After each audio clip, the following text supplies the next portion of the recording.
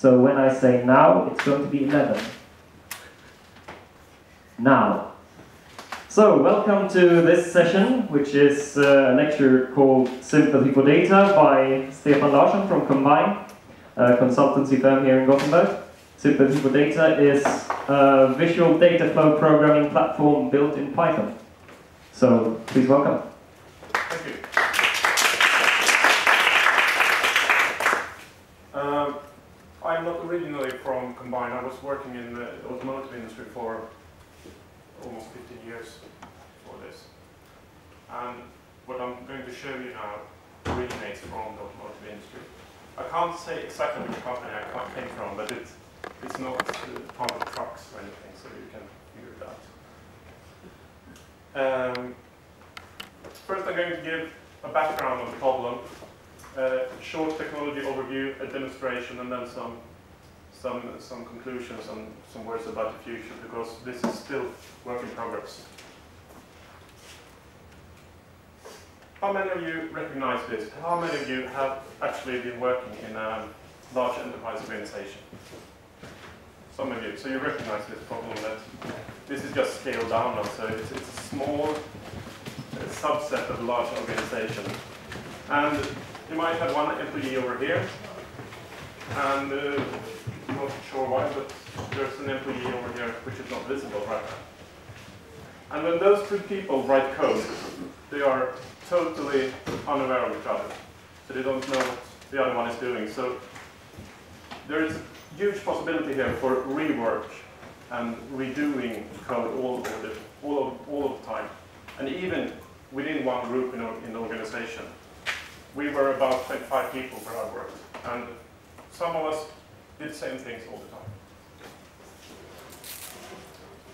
So, trying to solve this, in 2009, I and, and another guy started coding uh, during evenings and weekends. So we started at work at 6.30 in the morning. At 15.12 we could go to the clock and get out of the company and go home and start coding till 10 in the evening.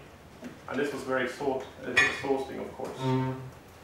Uh, we had we had a vision that if we could build blocks which could be reusable and connected together visually, we could reuse the code and we could uh, improve uh, the efficiency in how we would write this code in, in, an, for, for, in engineering context.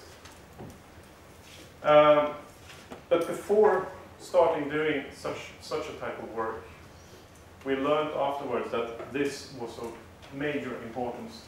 You must know who owns the result depending on the contract you have with your employee. Because in some cases what you write might automatically be the property of the, of the employer. If this is an expected output from your normal job. We were lucky because this was not part our uh, normal job. So we were able to determine the, um, how we wanted to do this and how, um, uh, under what circumstances we wanted to publish this code. So we decided, uh, we were thinking about starting a company, of course, but we didn't find a good business model, and uh, it was too too far far away from the market. So we decided to go to an employer and ask for time to do this. And we were trying to sell this to them. So we had to have the company lawyers on our side. And that, that included teaching them about open licenses and open source software, because this is completely unknown in most companies. Uh, everything is so proprietary, everything is so secret that no one wants to share anything. Um, we had to think about maintenance of the code. Because we had a large problem in, in the organization that engineers started writing tools for themselves. And these tools uh, were very dependent on these individuals. So if they changed position in the company, or if they changed jobs, this code was lost. They deleted the account and the shared disk account was removed and nothing was working anymore. And we never got past the prototype stage, so this was very hard for others to, to, use. Uh, we never got to an industrialization. Also, ensuring function was a good argument because we were using a lot of very expensive proprietary tools and trying to get other um, tools to, to work the way we wanted was very difficult because either the support never answered uh, or they were very unwilling to change the software because they said we are not using the software the way it was intended to, to be used. And um, in most cases where I was managed to do anything with this software was to dis disassemble parts of it to understand how it worked and then change the interface slightly. This was of course not allowed according to the license for the software. Uh, we were discussing the ownership of the software. And we wanted, based on the previous um, experiences where prototypes were lost due to, to, to, to being locked to certain individuals, we wanted to have an independent ownership. We were looking around the world, they use, they're usually non-profit organizations often called foundations. And in Sweden there's nothing similar to a foundation in that sense. So we, we started something called an ideell förening, which I can't find any translation for English, but it's kind of a non-profit organization. So we wanted to put all the copyright of the software in this organization. Um, my, my employer was very uh, worried about warranty responsibility, worried if, if the software was, wasn't working, were they responsible for, for taking care of the problems? And of course, it wasn't because the license says there's no warranty. And we had to do a lot of talking and convincing about code contribution that any coded right should be contributed for the, for the better good so we can share results between companies. Uh, with that background, and this journey was made during 2010 and partly during 2011, so it took a lot of time to do this before we got the company on our side. Uh, so if you're going to do this in your own companies, where, where you work, you have to be prepared to go talk to all these stakeholders, especially lawyers. So, big data is a very trendy word right now and has been for a couple of years. Uh, there are four issues listed by Gartner, the, the, analysis company, and that's volume. And this is what happens all the time in the engineering community. Uh, we have storage problems, we have memory problems over individ individual computers, and we have a problem of distributing the, uh, the data between people. Velocity, that's about how, how quickly you get results from data, from analysis of data. Um, usually, when they talk in the, in the business about this, it's about Twitter, and they want responses or results in milliseconds, just to see if someone tweeted about this. Uh, in the engineering community, this could be going from one month to one week instead. That's a good velocity improvement, or maybe done one day to get results. Variety is said on the web in many sources but this is the hugest problem you have in, in data analysis, and that's you have so many data sources and you have so many data structures and you have to build readers for all these data structures. Uh, this is often a stopper for many people because they can't get the data into their analysis systems. Sometimes the file formats are even proprietary, so it's not documented at all. So you don't know how to read it. And veracity, this is nothing you really can do so much about um, unless you verify data or, or, something. That's the truth or the accuracy of the data. How, how much can you trust the data from the beginning? I read a book last week. It has a very good chart here about the difference between what they call business intelligence and data science, which is the new trendy area to go into uh, the value in business value and time here is what, what type of data you're analyzing. So for business intelligence, you have a rel relatively low business value and you look mostly at past Mark? data, not doing that much predictions about the future. what will come. When you do data science, you will usually have a higher business value because you will start looking more into the future and not that much on what happened and trying to find actions and decisions in the future based on the data. So usually they think about it as business intelligence being something in retrospective and data science about forward thinking. So there are different stages you can go through in data analysis. You start with a low business value, and that's uh, looking at how many, how often, and, and what happened. Um, counting, aggregating data. It's not that much value. So you can look at these results and start asking yourself, how did we do based on these results? And the big question, why did this happen? Trying to trace back why the results are like they are. And it's very easy to get stuck here, but you should really continue pushing forward to get look at the trends, what happens if you continue, and finally getting to what is my next step, what's the next action I will do. Because that's when you monetize on the, on the data really. Uh, if you look at the web shop, the final step here is really when, when you start shopping things and it starts predicting what you're going to shop next and give that as an uh, opportunity for you to select correctly without you understanding that you want it. So when we look at the differences between how you do data analysis between data science and business intelligence. So in business intelligence, you start usually with well-formed data sources. You have data warehouses and, well-formed databases. And you do something called extract, transform, load. You analyze it and report it. When you do data science, you can, of course, have these type of data sources. You also can have files. You can have like anything. And then we do something called extract load transform instead of extract trans, uh, transform load. And this means that you extract the data, you load it, and then transform it when you have all the data on site.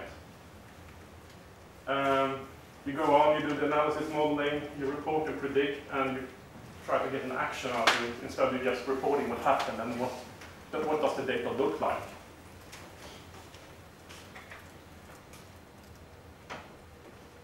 So looking at how I as an engineer used to work, and still do in, in some senses, is you have several data sources. It could be measurement systems, it could be databases, anything. And you imported this using a script, and this could take some time to execute. So You didn't want to do it when you downstream was debugging what you were doing then. So I usually exported it to a file. Then I cleaned data, grouped it, and what I had to do to make it fit the interface of my analysis algorithm. And finally, I, I generated the plots. And experience all the time is that this step is like 80-90% of the work. The rest is very easy. And actually, this first step is extract, load, transform. If you look at commercial software, you can start here and go there. They skip this step and assume that you've already, already done it before. Most engineers use Excel for everything. It's a de facto data analysis software. So if you can read everything to um, a, a, table, given the limits of the number of rows you have in the system, um, they have manual labor, they copy paste, they use the mouse and keyboard all the time, can sit for weeks doing this. Uh, if you can't read the data, you're, you don't do anything. So it's no doubt. So if we scale this to several engineers, they are on the black side there. They usually do the same things in parallel with the same data sources. And if I want to take this, this guy's data import here, and, and couple it here, it won't work because my interface is not similar to his interface. It would probably take shorter time for me to rewrite and adapt everything to the data format for the exchange between this. So, what we thought was, why not start reusing this in some sense? So we only have difference in where it actually differs and try to have a similar data interface between these components where, it, where it's the same thing all the time.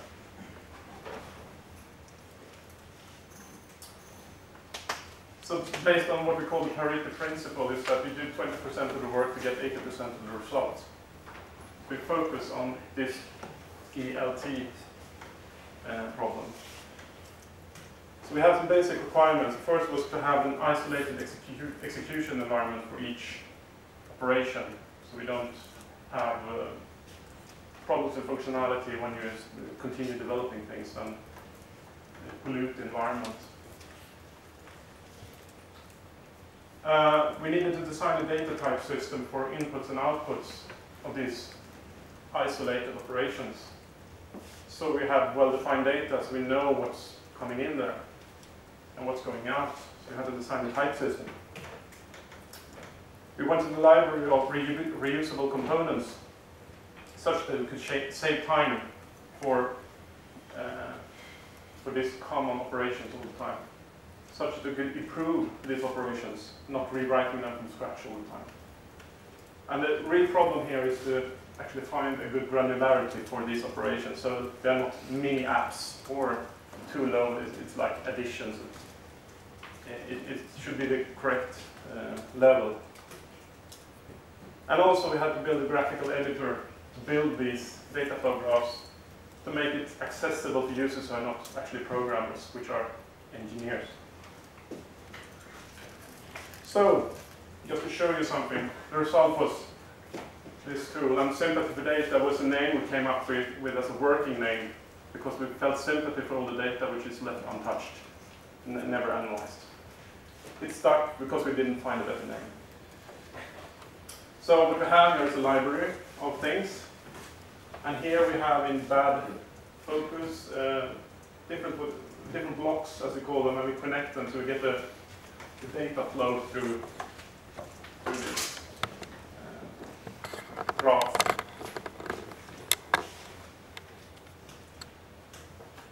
So the platform is based on Python. The reason for choosing Python is that we come from a world where MATLAB is king. Have all of you met MATLAB and used it? Yeah, a lot of people. Uh, MATLAB is a real problem right now because they're using floating licenses usually, and trying to get a license after lunch is uh, equal to not getting a license. So you can't work for one hour until someone releases the license. So we found out in the mid-2000s that there were computation libraries which were quite good for Python. Um, specifically NumPy and SciPy. And there are lots of computational and plotting libraries to choose from in this uh, community. Uh, maybe the performance wasn't that good compared to MATLAB in some senses. Sometimes it could be better, but depended, uh, dependent, was dependent on how it was compiled and what computation libraries were used and so on. Um, we decided to use HDF5 for storage of intermediate data. Um, HDF5 is used by NASA, I think, uh, Livermore Labs, and, and, a couple of other large places in the US. Um, CERN in, uh, in uh, Switzerland, I think they are, and the big accelerator. They are producing huge amounts of data. They, they are discussing to use HDF5, but they have and format called Xroot invented internally, so they, they want to use something which they invented themselves. It's a very similar format. And does everyone know what HDF5 is? Or is there anyone who has never seen it? Uh, it's actually a hierarchical data format where you can put data sets in like a, like a virtual file system. So you can store data in a tree structure. And you can put tables, you can put columns, and you have a quite, quite good free-form way of working with the data. And it's quite quick to, to, to read and write, especially read. It's very easy to read subsets of the data. You can also link between files in a, several steps. So you can expose what's in another file in a file, like a virtual link.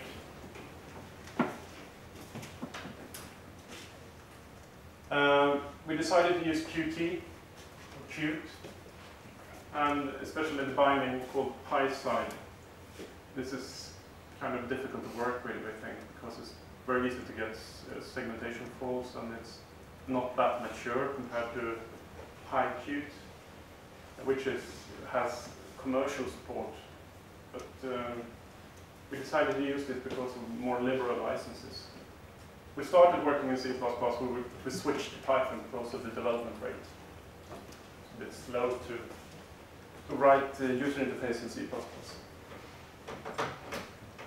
Uh, regarding the design of the platform, we decided we, we should not use feedback loops.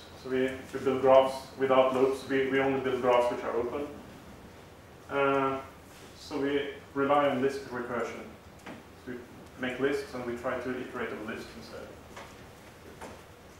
Um, and also, we introduced a type system because we thought tables are not enough. We're looking at several other programs or softwares before starting this development to try to find are there any softwares working on the market now, right, right now which are solving our problems, but all of them are using tables. We don't think tables are enough for, for engineering data. If you have time series mixed with tables and metadata, uh, you can have videos, you can have images, you can have sound, you can have anything, and tables are not enough, really. So you have to, to handle that. So right now we have two basic data types, which we call text and table. We decided not to go down on double, integer, and, and so on. We decided to use more like high-level data types because it's easy for the user to understand. We thought about in the future to use images, sound. Uh, a movie could be a list of images, for example. And we also added some containers. We have list containers, we can have lists of these things. We have records, which are essentially named tuples, and dictionaries, which only have string keys. Uh, in this case. It's just an example of how, how the type could be defined. Um, the parentheses are defining the record, and we have three fields called description, data, and property.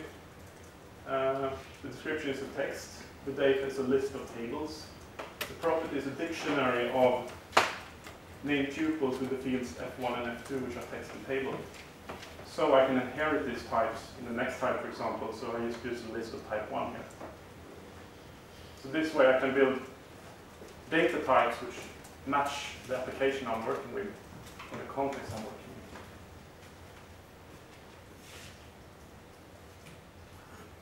with. Um, I will demonstrate the software later on, but it looks something like this when you build a simple flow. So in order to execute this, we have we start uh, a, a set of workers when you start the program. And we have a scheduler which puts the work on different workers. It's quite simple right now. Nothing fancy that way. But we get some kind of multi-threading in, in Python but in, by starting processes. So, I'm going to show you what it looks like right now.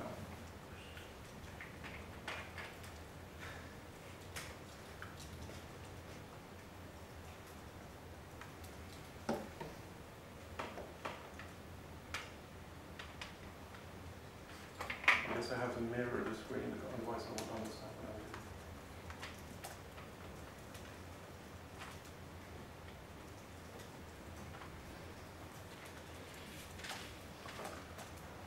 It's a very small screen. So a very, very, very simple example here, which is not really repre- representative for what the real applications we're doing, but it, it, it shows what can be done in, in a short time. So first, I define a data source, in this case. And this data source has a symbol, which is a branch, and it says it needs to be configured. Uh, we have a symbol out here saying that this data type out here is a type of data source. Uh, we will run out of geometrical figures in the future. So we, we're thinking about how to solve this with many types. Uh, so we can choose file or we can choose SQL Server uh, as a data source right now. So in this case,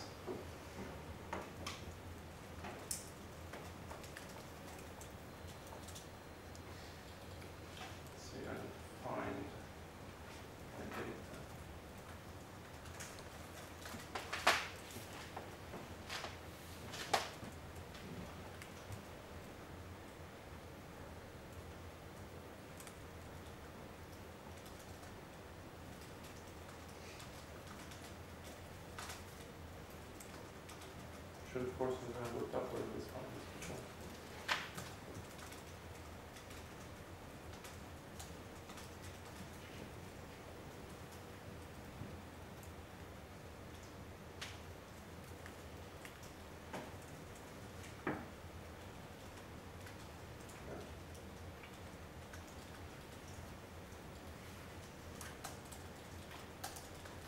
Just one folder. So I just execute this one and as an output here, right now I just have a file name. So it's, it's a way of defining uh, a data source. Uh, then I have to parse this data to actually read it into something.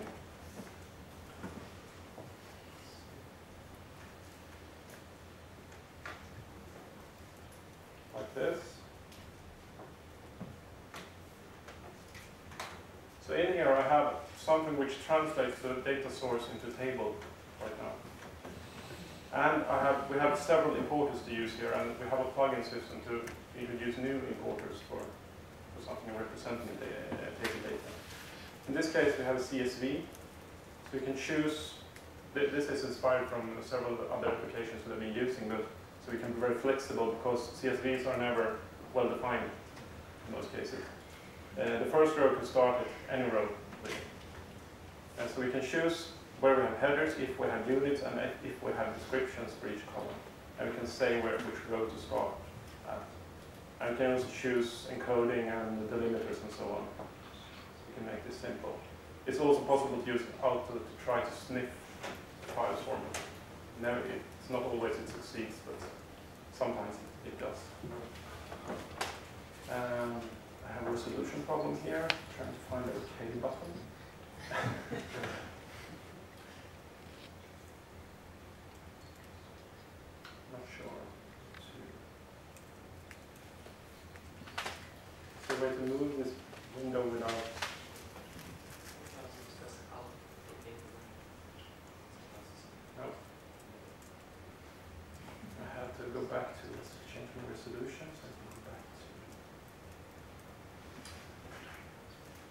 resolution screen and push OK.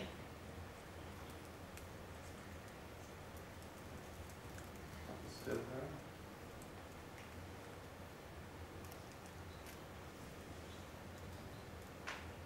Where did you go?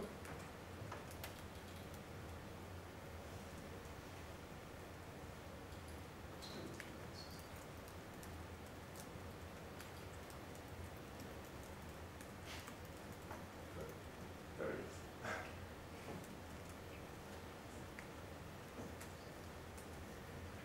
Yeah. Okay. I think I'll do it like this if I encounter this again. So what I did now was to read this data.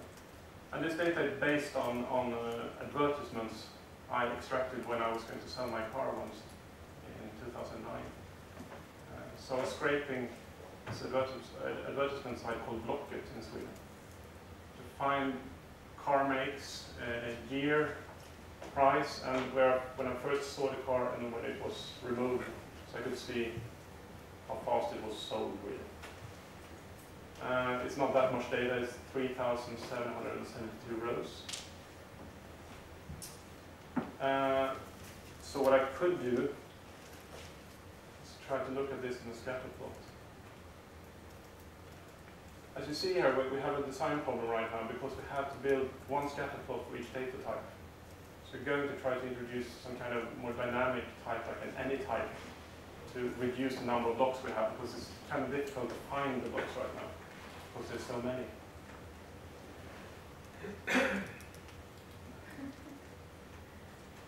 yes. And we still have the resolution problem. So, on the x-axis, I, I could want, I want year in this case, and I want the price. And as you see here, the veracity of the data is not that good because we have a year car in 3,900 something.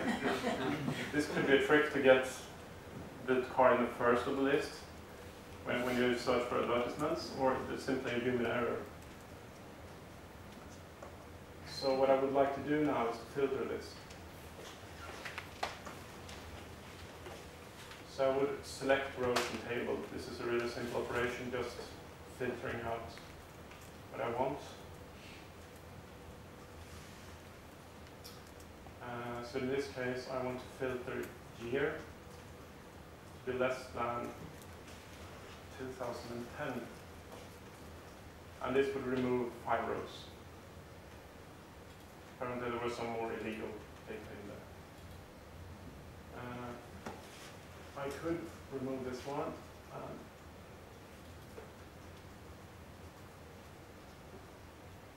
connect it here again, and I can look at the filter data.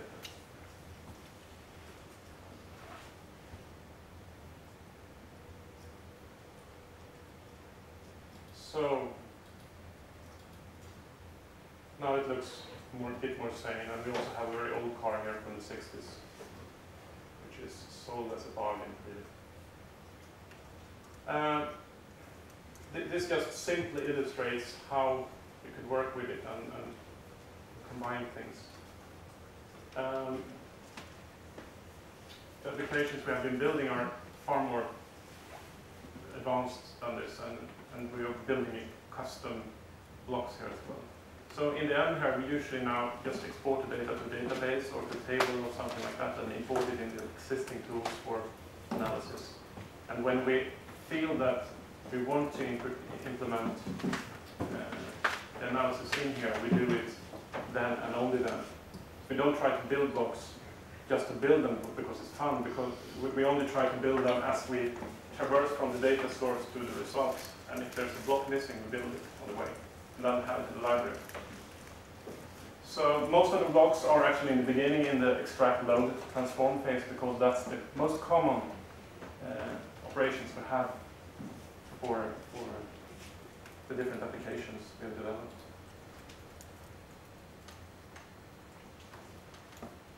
So let's go back here again.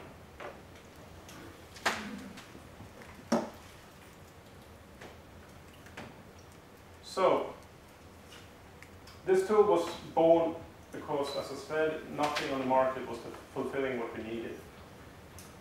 Uh, as I said, they only work with well-formed tables, and data has to be pre-processed to be able to be imported in the, into these tools. There are some simple filtering mechanisms sometimes, it's not always even possible to read it. It could be illegal characters, it could be empty cells, which are not, it could be a star for an empty cell, but the star is not allowed in that software, so you have to change it to something else, and it could be anything strange. We also found it faster and cheaper to adapt our own platform for our own needs. Um, compared to going to, to a large vendor who say, develop this for us. Because that would be really expensive for this type of software and would take a lot of time and you would never get what you wanted in the end. Uh, we, many engineers are not what we call multi-instrumentalists. They don't, they can't move between computing environments. If they're good at MATLAB, they want to use MATLAB for everything. If they're good at R, they want to use R for everything. Uh, we have we have the possibility to actually mix these by, by building workers for different environments. We have only Python right now, but we could, build a worker for R, could build a worker for MATLAB. We have a simple MATLAB uh, block right now, actually. Uh, and uh, we could we could mix all these environments So if someone is good at writing an analysis routine in R and have the good libraries there, you can actually build it there and then share with the other guys who write Python code or the MATLAB code or, or anything like that. And the final motivation, of course, was that we were young, stupid, and uh, had personal interest and commitment in this. Uh, if you have done something like this, you will never want to do it again. It's good that there are young people growing up all the time. Currently, we are powering several customer applications. I can't go into real detail because this is their intellectual property. Uh, but we have done a lot of automation of manual ELT workflows. So we have people sitting doing manual labor, collecting files from tests, manually and analyzing them and putting them into reports. We have automated that and saving a lot of time from hours now down to minutes. We have one application working with failure and warranty prediction. Um, also, we are replacing a lot of outdated MATLAB scripts, saving licenses in that case, uh, and also re-implementing. They had a problem with MATLAB being updated and then the script stopped working because there wasn't compatibility between scripts. Uh, this is an example of a commercial workflow which I try to anonymize as much as possible, but you see the structure. So over here you have the extract, load, transform phase going into the simple analysis column and then aggregation of the data and exporting it for further analysis. So this actually proves once again that this extract, load, transform stage is, is not to be ignored really. This is another example of two flows which are doing essentially the same thing but in different domains. I can't say much more than that.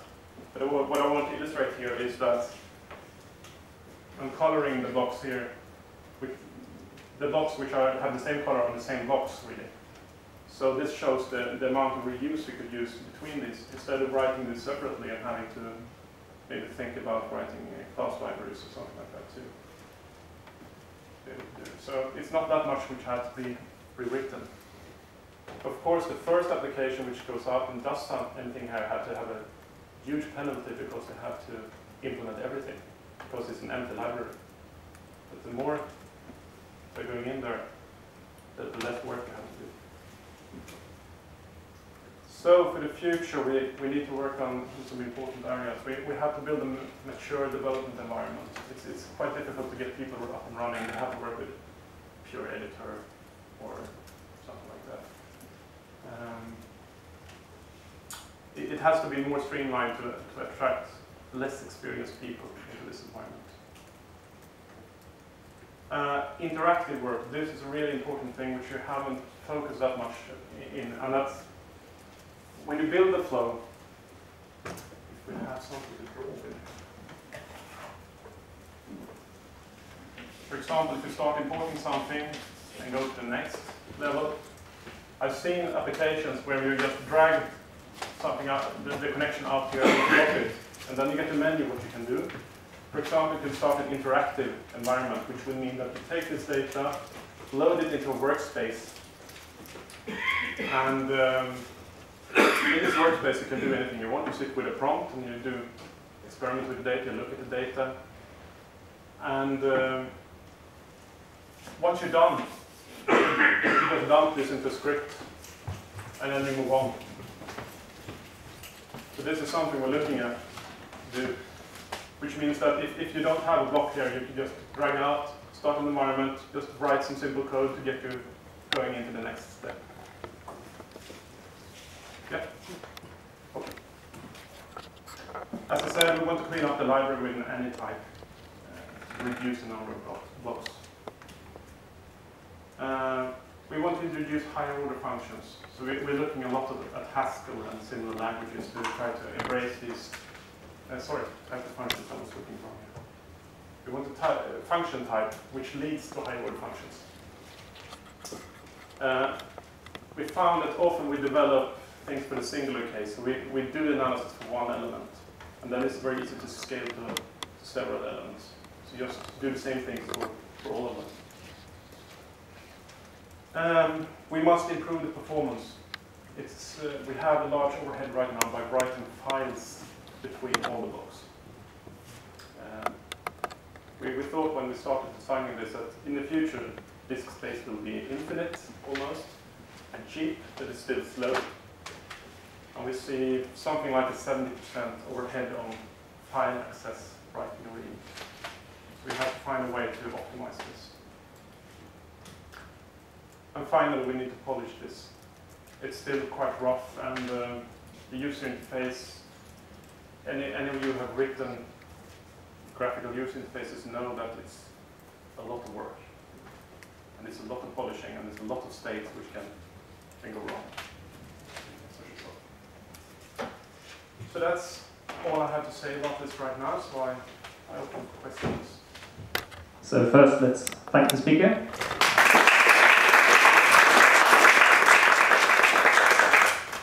And we open the floor for any questions. Uh, Which kind of license do you use? Um, is it free as in beer or We're using a GPL version 3 license and using a BSD license for basic files which you're using for uh, the blocks because we predicted that we might need to link to proprietary libraries, for example, at that level. so this is it free as in beer? Can I download this? Yes, you can download it. You just search the web and you will find it. Any other questions? Yeah. Uh, which uh, competitors do you see? Like RapidMiner? Uh, Yeah, RapidMiner is a, a huge um, inspiration source, and also Knime, which is the Constance miner, which also is open source as well. Yes, all my ETL tools as well, like uh, Pentaho's uh, data integrator. Yeah, we looked a bit at Pentaho, but we haven't seen that maybe it's not a one-to-one match. No, I guess not, not data, just. Uh, look at the IBM modeler. it's not that similar either. There- are small differences between them, different applications and different contexts where they're working. Would. Um, you mentioned some export functionality, but you were quite brief on that. Could you elaborate on what kind of export you can do? Is Uh, it right. like the importer essentially, or Yeah, CSV, Excel, um, we have something called MDF, which is um, automotive measurement file system. can you export to SQL? So what? To SQL database? Yeah, you can do that. You can also export to the raw HDF file file if you want to as well. And uh, another question I have is, you started out with uh, two developers, right? Wait, what? With you started out with you started the project with two developers in Yes. spare time. Um, what does the current community look like, and is there any interaction from outside the company? Do you have mailing lists, or what is your project? Um, we we have intentionally not wanted to build a community from the start because we didn't want to go out before we felt it was mature enough. Right. So you could say that this is the starting step. Okay. Based coding. Chain based. Yeah. Yeah. And do you, are you considering that? Are you are you really thinking about it, or are you just gonna let it happen somehow? Or We, we want to build a community really because that would make the software more robust for changes if you know the bus factor. right, right. Whether someone gets killed by a bus. uh, currently we are four developers, core developers at Combine, and we are funded mainly through customer contracts, support maintenance, and uh, developing features uh, and functionality and applications as well. And does the nonprofit um, that you founded sort of have oversight over community issues as well as the copyright? Like, I mean, what would happen if people actually start contributing? Is it still something that your employer would be worried about, or is it something that you already sort of sorted out We sorted out all, all of this with lawyers already. So my former employer has donated code to this non-profit organization. And we at Combine are also donating code. And we try and get more confidence in there. And where do you host the code and the project infrastructure that's there? Uh, we have an internal s- uh, structure right now, but we, we, we publish it, we, we, we're using Bitbucket a lot previously. But uh, we're using Mercurial for version handling and so on. So are there any more questions from the audience? right, one more. So I got several, but I could probably take them afterwards. Okay. But I mean, uh, the Hadoop uh, uh, frameworks, do you Mm. have anything, uh, any Can you import data from HDFS or? We are not looking at Hadoop because we think that Hadoop is not good for engineering applications. Uh, Hadoop is good for business intelligence where you count, aggregate data. Uh, if you're going to calculate eigenvalues or invert matrices and so on, or just do a line regression or something like that for, for data, Hadoop is no good anymore unless you do a lot of them in parallel. But if you have lots of data and want to do a linear regression, I've seen from Microsoft Research uh, an, an example of how you can do it, and it's not very simple. It's not like just backslash in, in MATLAB.